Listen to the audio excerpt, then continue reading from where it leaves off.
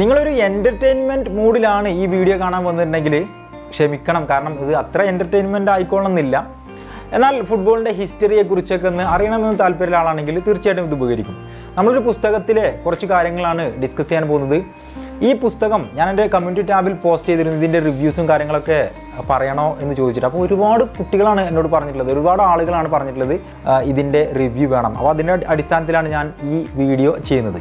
ഈ പുസ്തകത്തിന്റെ പേര് the mixer the story of Premier League tactics from route one to false nine എന്നാണ്. ഇത് എഴുതിയിട്ടുള്ളത് മൈക്കിൾ കോക്സ് ആണ്. ഈ പുസ്തകം പ്രീമിയർ ലീഗിന്റെ ഹിസ്റ്ററിയാണ് പറയാൻ പറയുന്നത്. അതിന്റെ ടാക്ടിക്സ് ഒക്കെ എങ്ങനെയാണ് ചേഞ്ച് ആയത്? ഇന്ന് നമ്മൾ കാണുന്ന തരത്തിലേക്കുള്ള ഒരു ഇന്റൻസ് ആയിട്ടുള്ള ഒരു പ്രീമിയർ ലീഗിലേക്ക് എന്തൊക്കെയാണ് വഴിമരുന്നിട്ടത് എന്നിട്ട് തുടങ്ങിയിട്ടുള്ള കാര്യങ്ങളൊക്കെയാണ് അദ്ദേഹം വളരെ ഡീപ്പായിട്ട് സംസാരിക്കുന്നത്. അപ്പോൾ ഇതിന്റെ തുടക്കത്തിൽ തന്നെ സംസാരിക്കുന്ന ഒരു കാര്യമുണ്ട്. നമ്മുടെ ഫുട്ബോൾ ഹിസ്റ്ററിയെ തന്നെ ഫുട്ബോളിന്റെ എന്റർടൈൻമെന്റ് വാല്യൂവിനെ ഒക്കെ ഒരുപാട് സ്വാധീനിച്ച ഒരു നിയമമായിരുന്നു. ആയിരത്തി തൊള്ളായിരത്തി തൊണ്ണൂറ്റി രണ്ടിലെ ബാക്ക് പാസ് റൂൾ അതായത് ബാക്കിലേക്ക് പാസ് കൊടുക്കുക മൈനസ് കൊടുത്തു കഴിഞ്ഞാൽ ഗോളി അതായത് കാലുകൊണ്ട് കൊടുക്കുന്ന ബോളുകൾ ഗോളിക്ക് ഗോൾ കീപ്പർക്ക് കൈകൾ കൊണ്ട് എടുക്കാൻ പറ്റില്ല എന്നുള്ള ഒരു നിയമം. അത് ഇൻട്രൊഡ്യൂസ് ചെയ്ത് ആയിരത്തി തൊള്ളായിരത്തി തൊണ്ണൂറ്റി രണ്ടിലെ പ്രീമിയർ ലീഗിലായിരുന്നു അപ്പം അതിന്റെ പിന്നാമ്പുറത്ത് ഒരുപാട് ഹിസ്റ്ററി വേറെ ഉണ്ട് ഇത് എന്തുകൊണ്ടാണ് ഈ നിയമം പിന്നെ പ്രാബല്യത്തിൽ വന്നത് എന്നുള്ളത് വേറൊരു ചോദ്യമാണ്. ആയിരത്തി തൊള്ളായിരത്തി തൊണ്ണൂറിലെ വേൾഡ് കപ്പുമായി ബന്ധപ്പെട്ടാണ് ഈ ഒരു നിയമം വരുന്നത്. ആ വേൾഡ് കപ്പിൽ പിന്നെ ഡെൻമാർക്കിനെ പോലെയുള്ള ടീമുകളൊക്കെ വളരെ ഡെഡ് ആയിട്ടുള്ള ഒരു ഫുട്ബോളാണ് കളിച്ചത്. അതായത് ഒരു ഗോളിന് ജയിച്ചിരിക്കുകയാണെങ്കിൽ പിന്നെ ഗോളിക്ക് പാസ് കൊടുക്കുക ഗോളി കൈകൊണ്ട് എടുക്കുക ടൈം വേസ്റ്റ് ചെയ്യുക. അങ്ങനെ യാതൊരു തരത്തിൽ എന്റർടൈൻമെന്റും ഇല്ലാത്ത ഒരു നിലക്കും പിന്നെ ആളുകളെ സന്തോഷിപ്പിക്കാത്തൊരു കളികളായിരുന്നു അന്ന് ആയിരത്തി തൊള്ളായിരത്തി തൊണ്ണൂറിലെ വേൾഡ് കപ്പ് വളരെ കുപ്രസിദ്ധി നേടിയ ഒരു കളിയായിരുന്നത് ഒരു ടൂർണമെന്റ് ആയിരുന്നത് അങ്ങനെ നിരവധി ആളുകൾ അതിനെതിരെ ശബ്ദിച്ചു അതിൽ മാറ്റങ്ങൾ കൊണ്ടുവരണമെന്ന് പറഞ്ഞു. അങ്ങനെ ആ ഒരു നിയമം ഇല്ലാതാക്കി. ആയിരത്തി തൊള്ളായിരത്തി തൊണ്ണൂറ്റി രണ്ട് പ്രീമിയർ ലീഗിൽ അത് അവർ അവതരിപ്പിച്ചു. അങ്ങനെ ഈ നിയമം വന്നപ്പോൾ വളരെ രസകരമായിട്ടുള്ള വേറെ കുറേ കാര്യങ്ങൾ അദ്ദേഹം ഈ പുസ്തകത്തിൽ പറയുന്നുണ്ട്. കുറേ പ്ലേയേഴ്സ് എല്ലാം ഇതിനെതിരെ രംഗത്ത് വന്നു. ചില ഗോൾ കീപ്പർമാരൊക്കെ പറഞ്ഞു ഞങ്ങൾ പത്തും ഇരുപതും വർഷത്തോളം വർഷങ്ങളോളം ഞങ്ങൾ കൈകൊണ്ട് എങ്ങനെ ബോൾ പിടിക്കണം എന്ന് പഠിച്ചുകൊണ്ടിരിക്കുകയായിരുന്നു. ഇന്ന് വന്നിട്ട് ഒരാൾ നിങ്ങൾ കാലുകൊണ്ട് കളിക്കണം എന്ന് പറഞ്ഞു കഴിഞ്ഞാൽ ഞങ്ങളെ അത് വളരെ മോശമായിട്ട് സ്വാധീനിക്കും ബാധിക്കും എന്നൊക്കെ പറഞ്ഞിട്ട് ഒരുപാട് ഗോൾ കീപ്പേഴ്സ് വന്നു. എന്നാൽ കുറേ ആളുകൾ ഇതിനെ അനുകൂലിച്ചും രംഗത്ത് വന്നു. എന്തൊക്കെയാണെങ്കിലും ഇത് നടപ്പിലാക്കപ്പെട്ടു. ഇതിന്റെ തുടക്കത്തിലൊക്കെ ഒരുപാട് കോമഡികളുണ്ട് നമ്മുടെ യൂട്യൂബിലൊക്കെ ബാക്ക് പാസ് റൂൾ എന്ന് അടിച്ചു കഴിഞ്ഞാൽ നിങ്ങൾ ഒരുപാട് കോമഡികൾ ആ വിഷയത്തിൽ ഉണ്ടായ കുറേ കളികളിലൊക്കെ ഉണ്ടായിരുന്ന കോമഡികൾ നിങ്ങൾക്ക് കാണാൻ പറ്റും. എങ്ങനെയൊക്കെയാണ് ഇത് പ്ലേ ഈ ഗെയിമിനെ ബാധിച്ചതെന്ന്. പക്ഷേ വളരെ നല്ല ഒരു മൂഡിലേക്ക് ഫുട്ബോളിനെ കൊണ്ടുപോകാൻ കഴിഞ്ഞു. വളരെ അറ്റാക്കിംഗ് ആയിട്ടുള്ള വെറുതെ ഇങ്ങനെ സമയം വേസ്റ്റ് ആക്കാതെ എപ്പോഴും ഒരു ഇന്റൻസിഫൈ ചെയ്യുന്ന രീതിയിലുള്ള സ്പീഡ് ക്രിയേറ്റ് ചെയ്യുന്ന രീതിയിലുള്ള ഒരു ഗെയിമാക്കി മാറ്റാൻ ഫുട്ബോളിനെ മാറ്റാൻ വേണ്ടിയിട്ട് യഥാർത്ഥത്തിൽ ഈ ഒരു റൂളിന് കഴിയുകയുണ്ടായി. സീരി എ പോലെയുള്ള ടൂർണമെന്റുകളിൽ ഇപ്പം സിരി എ എന്ന് പറഞ്ഞ യൂറോപ്പിലെ തന്നെ ഏറ്റവും ഡിഫെൻസീവ് ആയിട്ടുള്ള ഒരു ലീഗായിട്ട് അറിയപ്പെടുന്ന ഒരു ലീഗാണ് ഒരു ഡിവിഷനാണ്. ഓരോ കളികളിലും നേടുന്ന ഗോളുകൾ ദ ഗോൾസ് പെർ ഗെയിം എന്ന ശരാശരിയിൽ ഒരുപാട് മാറ്റങ്ങൾ ഉണ്ടായി രണ്ട് ദശാംശം രണ്ട് ഏഴ് ഗോളുകൾ ഒരു കളിയിൽ എന്നുള്ള ഒരു ശരാശരിയിൽ നിന്നും രണ്ട് ദശാംശം എട്ട് പൂജ്യം എന്നുള്ള ഒരു ശരാശരിയിലേക്ക് മാറുന്ന തരത്തിൽ ഒരു വലിയ ഇമ്പ്രൂവ്മെന്റ് ഗോൾ റേറ്റിലുണ്ടായി എന്നാൽ പ്രീമിയർ ലീഗിൽ ടു പോയിന്റ് ഫൈവ് ടു എന്ന് പറയുന്ന ഒരു റേറ്റിൽ നിന്നും ടു പോയിന്റ് സിക്സ് ഫൈവിലേക്ക് മാത്രമേ പോയിട്ടുള്ളൂ. എങ്കിലും അവിടെ കളിയിൽ ഒരുപാട് മാറ്റങ്ങൾ ഉണ്ടായി മാത്രമല്ല കളിക്കാർക്ക് ഒരുപാട് ഡിമാൻഡ് വന്നു.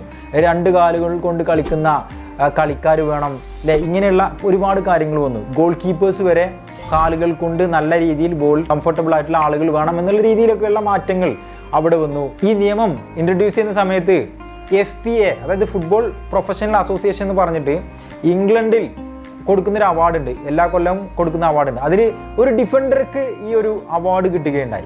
കാരണം പൊതുവേ ഡിഫൻഡേഴ്സിനൊന്നും ഇങ്ങനത്തെ അവാർഡുകൾ കിട്ടില്ല എപ്പോഴും സ്ട്രൈക്കർ ആയിട്ട് കളിക്കുന്ന ആളുകൾക്കൊക്കെയാണ് പലപ്പോഴും ഭൂരിഭാഗം സമയത്തും അവാർഡുകളൊക്കെ കിട്ടുക. അന്ന് എന്താ സംഭവിച്ചതെന്ന് വെച്ച് കഴിഞ്ഞാൽ അന്ന് ആസ്റ്റൺ വില്ലയുടെ മഗ്രാത്ത് അദ്ദേഹം രണ്ട് കാലുകൾ കൊണ്ടും വളരെ മനോഹരമായിട്ട് ഫുട്ബോൾ കളിച്ചു. അപ്പോൾ രണ്ട് കാലുകൾ കൊണ്ടും വളരെ നന്നായിട്ട് കളിച്ചു.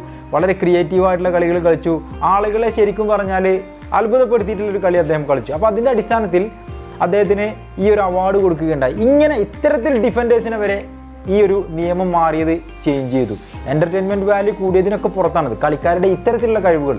ഗോൾ കീപ്പേഴ്സ് ആണെങ്കിൽ രണ്ട് കാലുകൾ കൊണ്ടും കളിക്കുന്ന ഗോൾ കീപ്പേഴ്സിനെ പിന്നെ കൂടുതൽ ഡിമാൻഡ് വന്നു. അതുപോലെ തന്നെ ഡിഫൻഡേഴ്സിന് ഇതേപോലുള്ള കാര്യങ്ങൾ വന്നു. ഇങ്ങനെ ഒരുപാട് മാറ്റങ്ങൾ ഫുട്ബോൾ ലോകത്തുണ്ടായി എന്നുള്ളതാണ് വസ്തുത ഇതിൽ വളരെ കോമഡി ആയിട്ടുള്ള ചില ഭാഗങ്ങളുണ്ടായിരുന്നു ഞാൻ നേരത്തെ സൂചിപ്പിച്ചല്ലോ.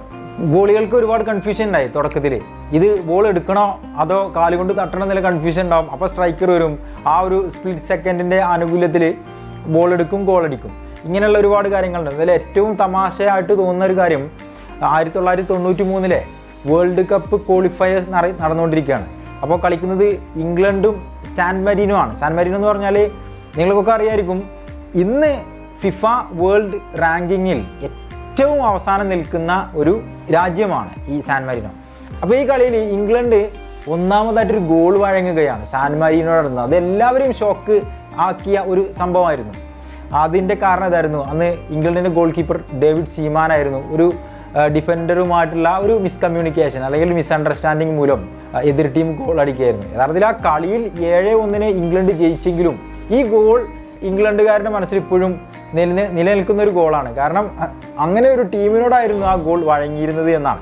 അപ്പോൾ ഇങ്ങനെയുള്ള ഒരുപാട് കോമഡികൾ അത് മാത്രമല്ല നിരവധി നിരവധി ഗോളുകൾ ഈ ഒരു റൂൾ ചേഞ്ചിന്റെ ഭാഗമായിട്ട് തന്നെ വന്നു എന്നുള്ളതാണ് വസ്തുത. പക്ഷേ ഗ്രാജ്വലി ആളുകൾ അഡ്ജസ്റ്റ് ആയി ഗോൾ കീപ്പേഴ്സ് മാറി അതുപോലെ തന്നെ ഡിഫൻഡേഴ്സ് മാറി ഫുട്ബോളിന്റെ മുഖം തന്നെ മാറിയ ഒരു നിയമമായിരുന്നു ആയിരത്തി തൊള്ളായിരത്തി തൊണ്ണൂറ്റി രണ്ടിൽ ഇൻട്രൊഡ്യൂസ് ചെയ്ത ഈ ഒരു ബാക്ക് പാസ് ലോ അപ്പോൾ സുഹൃത്തുക്കളെ നിങ്ങൾക്ക് ഈ വീഡിയോ ഇഷ്ടപ്പെട്ടെന്ന് കരുതുകയാണ്. ഇങ്ങനെയുള്ള വീഡിയോകൾക്ക് നിങ്ങൾക്ക് താല്പര്യം ഉണ്ടെങ്കിൽ തീർച്ചയായിട്ടും കമന്റ് ചെയ്യണം. ഞാൻ ഈ പുസ്തകമായിട്ട് ഇത് മുഴുവൻ ഞാൻ റിവ്യൂ ചെയ്യാനും ഓരോ അധ്യായത്തിലൂടെ പോകണമെന്ന് ഉദ്ദേശിക്കുന്നില്ല. ഇപ്പോൾ നിങ്ങൾ ഇങ്ങനെയുള്ള കാര്യങ്ങൾക്ക് താല്പര്യമുള്ള ആളുകളാണ് കമന്റ് ചെയ്യുക. ഞാൻ നിങ്ങളുടെ കമന്റും ലൈക്കും കണ്ടിട്ടാണ് പിന്നീട് ഈ ഇങ്ങനെയുള്ള പരിപാടികൾ തുടരണോ വേണ്ടേ എന്ന് ഞാൻ തീരുമാനിക്കുന്നത്. അപ്പോൾ ഈ പുസ്തകം ഓൺലൈനിൽ കിട്ടും അവൈലബിൾ ആണ് ആമസോണിലുണ്ട്. പിന്നെ ചില ആളുകളൊക്കെ എനിക്ക് ഇത് അയച്ചുതരും ചോദിച്ചിരുന്നു. കഴിയില്ല കാരണം കുറച്ച് കട്ടിയുള്ള പുസ്തകമാണ്. ഇത് സ്കാൻ ചെയ്യലും ഒന്നും നടക്കണ കാര്യമില്ല. നിങ്ങൾ വാങ്ങാൻ പറ്റുന്ന ആളുകൾ വാങ്ങിക്കുക. എനിക്കിത് വളരെ നന്നായിട്ട് തോന്നിയൊരു പുസ്തകം കൂടിയാണ്. സുഹൃത്തുക്കളെ വീഡിയോ ഇഷ്ടപ്പെട്ടാൽ ലൈക്ക് ചെയ്യുക. നേരത്തെ പറഞ്ഞ പോലെ നിങ്ങളുടെ അഭിപ്രായങ്ങൾ കമന്റ് ചെയ്യുക. വീണ്ടും നല്ല വിഷയങ്ങളുമായി നമുക്ക് അടുത്ത എപ്പിസോഡിൽ കണ്ടുമുട്ടാം. Good bye